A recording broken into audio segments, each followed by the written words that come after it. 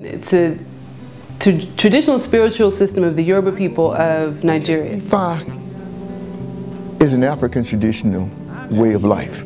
Some may call it a spirituality, some may call it a religion, mm-hmm. but it is a way of harmonizing ourselves with the world around us, the universe around us, so that we can flow through this life. Ifa is the study or the observation of life. When you study and observe life, you begin to recognize things about yourself, others, your community.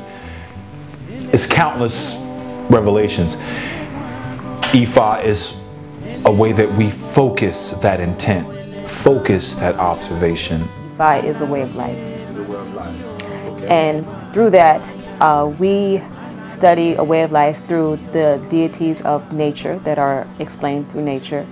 And we in Ifa we believe in one God, and we be, but we believe those aspects of God are carried out or explained through forces of nature. So those are just extensions of God rather than we don't pray to to the rain or we don't pray to the rocks. We, we pray to that force of mm-hmm. life that is through God, through those mm-hmm. things that are living. But the practice and the traditions are is just a way of life. It's it's just how we how we communicate with the Creator and our surroundings and our ancestors. Our ancestors then are our link to divinity. They are our link to divinity. That's the best way to explain it. That we are praising our ancestors because also what they provide for us is a divine record of consciousness of our family. They, they, they are the divine internet. If we are trying to draw on our own personal files within the memory of our own computer, then our access to information is limited. If we take that same computer and connect to the internet, the whole different thing happens. It's the same computer, but now it's connected to the internet. The analogy is that we are the computer that if we try to rely on our own brain to come up with all the answers that we are dealing with on a daily basis, especially in a world of oppression like this, in a world of unfairness like this, in a world of injustice like this, in a world where we see things being destroyed that we care about, then we are indeed lost because all we have is our one lifetime. When we draw upon the lifetimes of our ancestors, it's like our computer is now connected to the divine internet. And once we connect to that internet, then we have answers that extend across lifetimes. We begin to see patterns in our family. We begin to understand patterns of our resistance in the family. We begin to understand the things that the ancestors did and why. We, um, we honor our ancestors. Mm -hmm. First and foremost, ancestors are the foundation. Mm -hmm. And uh, an Egun Joko is uh, a ceremony that helps us to communicate and honor and give thanks to the ancestors. Um, Egun is the Yoruba word for ancestor. And Joko is means to come sit. To come sit, okay. Yes. So Egun Joko, come sit. We and, um, invite the ancestors to come sit with us. We make offerings, we say prayers, we make requests, and then the ancestors uh, give us the messages, and the messages that we get, we know are from them because we have appealed to them to mm-hmm. come. Ori, O means he, she, or it. Re means to see. When we look at our head, we can see that our head is the site of many, all of our senses. We hear from our head, we see from our head, we smell from our head, we taste from our head. We touch, we think of touch being here. But all too often, we can actually pick up something that's not hot enough to burn our hands, but yet we can burn our mouth with it. So I say, touch is most sensitive here as well. You see what I'm saying? So that puts all five of our senses as having their strongest locations within our head. Ori is the convergence because of that sensory region, but also the sensory apparatus. It allows the energy of the spirit to enter. It allows the energy of the heart to enter. It allows the energy of the body, of the uh, mind to be a part of the process so that all of that is taking place inside of physically or metaphysically the head. So that's what we call the ori, mm-hmm. that place where the mind, spirit, and heart meets. Orisha. Yeah, Ori again means the head. Sha means to own. Sha means to own. Yeah, so the owner of the head. The Each elemental force within the universe, and there's seven primary that we, we kind of lean to in the New World. Yes. Those forces are capable at the child's birth of connecting to that child because they understand that child's path.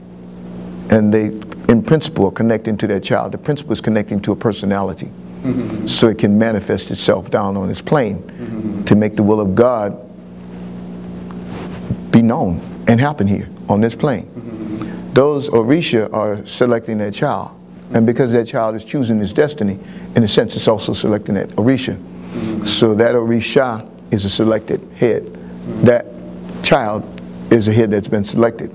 So there's a selected head relationship that goes on between those two. Uh, Orishas are, like I said, the forces of nature. Um, in other, in Voodoo, they're called the Loa. In uh, the Kemetic system, they are the Netters. They are the, um, they are functions of God. They are the messengers. They are the forces of nature. Eshu, Okay.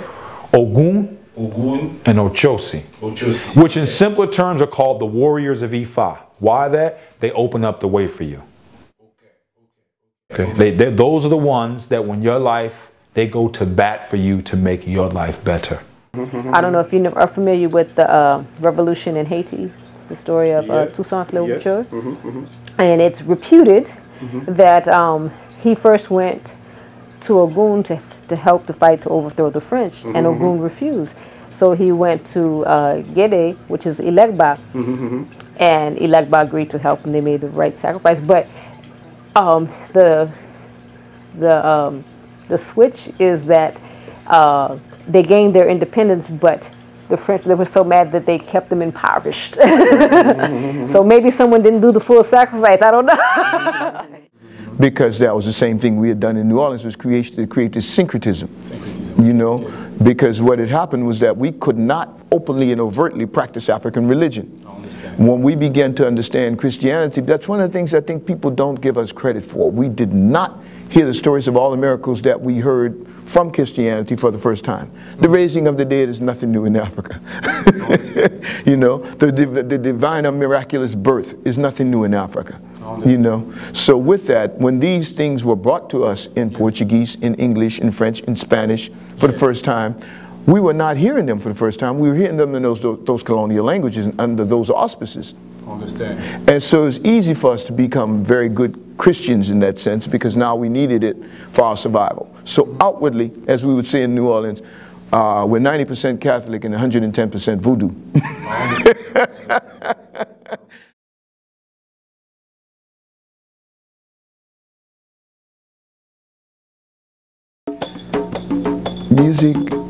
very important in Ifa for the simple reason that we know music is vibrations. That vibrations are wavelengths. Wavelengths are capable of changing human consciousness.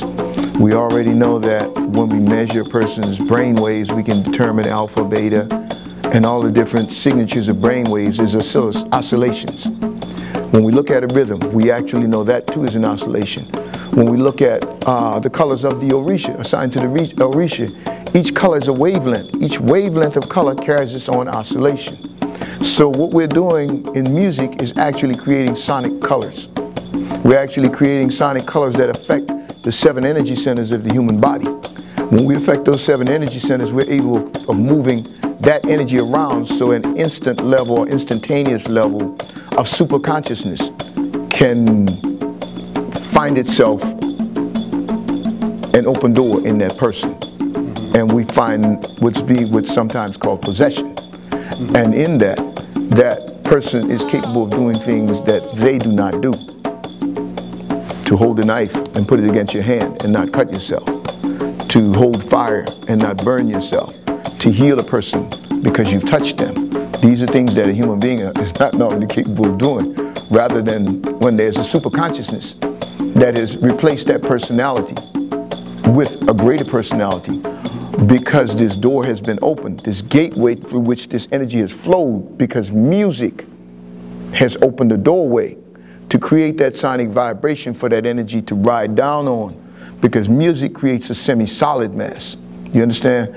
It's like this stuff is ethereal around us all the time, but music creates a semi-solid mass that becomes kind of a worm, or not even a kind of, it is a wormhole into other dimensions, into those places, into those divinis, into the divinosphere, into the, the uh, levels of life that we're not aware of around us for it to be pulled through. When it pulls through, miracles happen. They call him to open the path.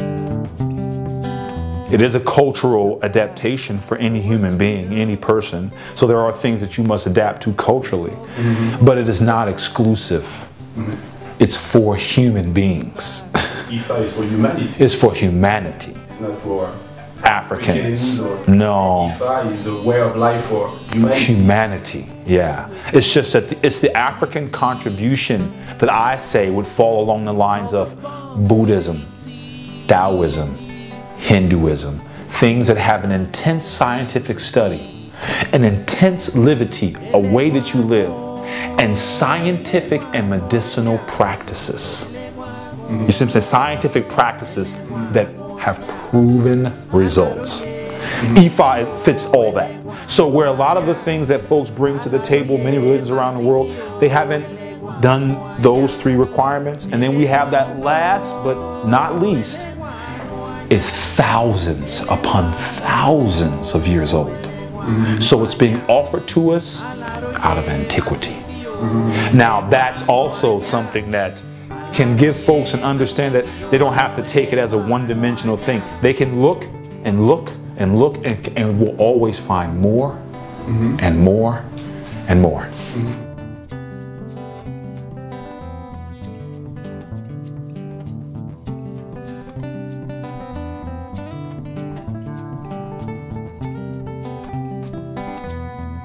I go ile, I go,